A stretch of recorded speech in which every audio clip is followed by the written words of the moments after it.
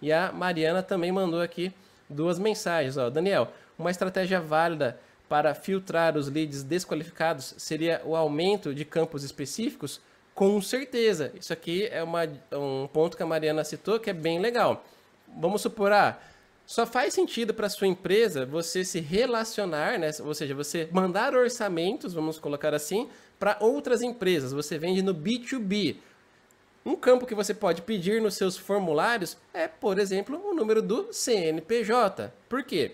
Se a pessoa for né, uma pessoa física, ela trabalha sozinha ali, não tem nem empresa aberta, ela não tem um número de CNPJ, ela não vai conseguir preencher aquele campo que qualifica ela para que ela entre para o nosso processo comercial. Então, esse também é um caminho bem interessante da gente melhorar a qualificação dos contatos que a gente quer que entrem para o nosso setor comercial. A gente coloca alguns campos que são, vamos dizer, qualificatórios, efetivamente. Ou seja, a pessoa tem que ter um CNPJ. Às vezes, a pessoa vai solicitar, por exemplo, ah, você já tem é, é, X faturamento, X números de funcionários, você já tem um setor comercial, né, que, por exemplo, ah, eu só vendo o meu sistema de CRM para empresas se já existir um processo, um time comercial lá dentro. Se você ainda não tem uma equipe comercial com cinco vendedores, para mim você é, não é um lead qualificado. E isso você pode validar através do formulário. Excelente ponto aí, é, Mariana. E ela também mandou aqui, ó. É, só que também tem a questão de dificultar a experiência do usuário. Mesmo assim, deve ser levado em consideração? Sim. Quanto mais campos a gente coloca no formulário, a tendência é que a taxa de conversão ela diminua um pouco. Por quê?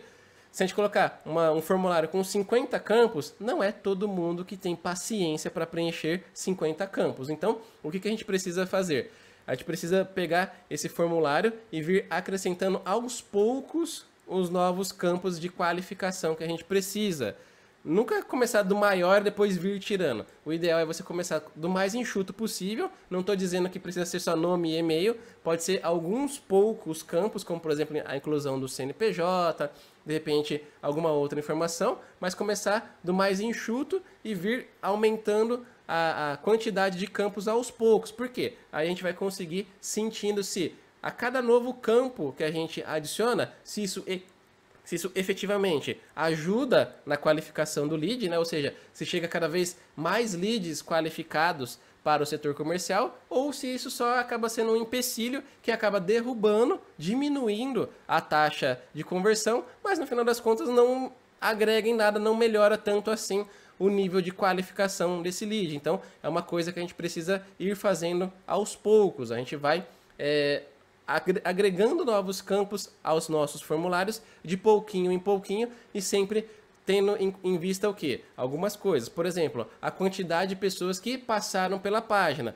Não dá para tomar uma decisão, por exemplo, se duas pessoas passaram na página e não preencheram o formulário ou de, antigamente era de duas uma preenchia, agora de duas nem uma das duas, ah, nenhuma das duas preencheu. Não são números o suficiente, a gente não tem amostragem o suficiente para conseguir saber se aquilo melhorou ou piorou. A gente precisa ter uma quantidade de visitas maior. Então, a gente pode pegar e às vezes colocar mais é, verba naquela campanha para mandar mais pessoas para testar aquele formulário. Tem algumas estratégias para acelerar esse processo, então deixar um tempo maior ali a página no ar, esperar as pessoas visualizarem esse novo modelo de formulário e avaliar um período antes e depois, de preferência que seja compatível. Então, se você pegou ali, avaliou durante um mês, avalia depois com um campo ou dois a mais durante um mês e compara qual que foi a taxa de conversão, tanto em quantidade de leads e também na questão de qualificação dos leads para o setor comercial. E aí a gente vai conseguir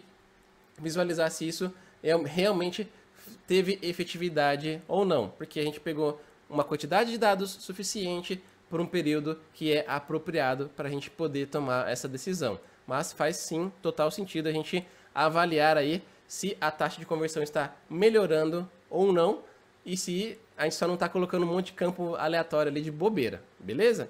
Então, recapitulando aqui o que a gente falou hoje aqui na nossa aula, para que a gente tenha um checklist aí de itens para você utilizar é, e resolver esse problema dos seus leads desqualificados. Então, primeiro ponto de tudo.